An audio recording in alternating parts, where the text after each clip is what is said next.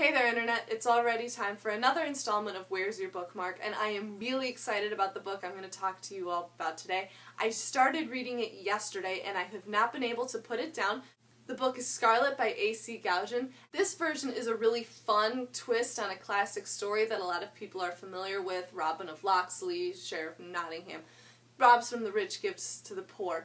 And it takes place when Robin is 19 and his band of merry men, they're also teenagers, and Will Scarlet, the titular character, isn't actually Will at all. She is Scarlet, except I am about halfway through, and you learn a lot of really fun, interesting stuff about her, for, such as Scarlet isn't really her name, and she has a past that she's been running away from, and she doesn't like to talk about it with anyone, not even Robin, who is one of her closest friends, or is he a friend or is he just the band leader? She doesn't really know where she stands with him half the time.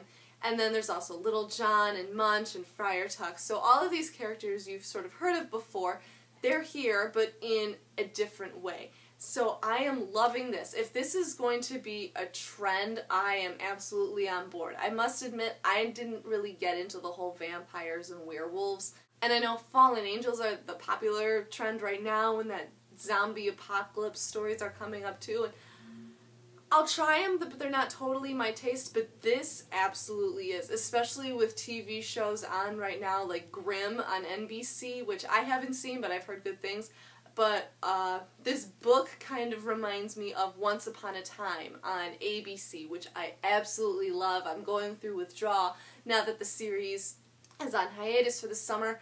Uh, this is definitely helping fill the void. I am about halfway through. I haven't been able to put it down. As soon as I finish with this video here, I'm going to turn off my camera and go right back to reading. It is that hooked in. My only sort of criticism so far is that the author tries to write in dialect to give you that feel of old time England, that Scarlet is a girl who's a little rough around the edges, and she does that by trying to write in dialect, but not quite. It just seems a lot of the time, instead of saying, like, I was going out, she says, I were going out, which it takes a little getting used to. Personally, I don't think it's adding a whole lot, but I still, the characters and the story, I am definitely hooked, I'm definitely intrigued, and I can't wait to see what comes next. So this is Scarlet by A.C. Gaughen.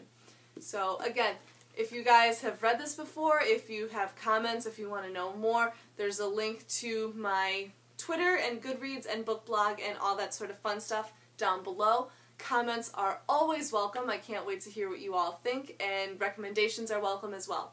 So that's all from me for now, Internet. Take care and happy reading. Bye bye.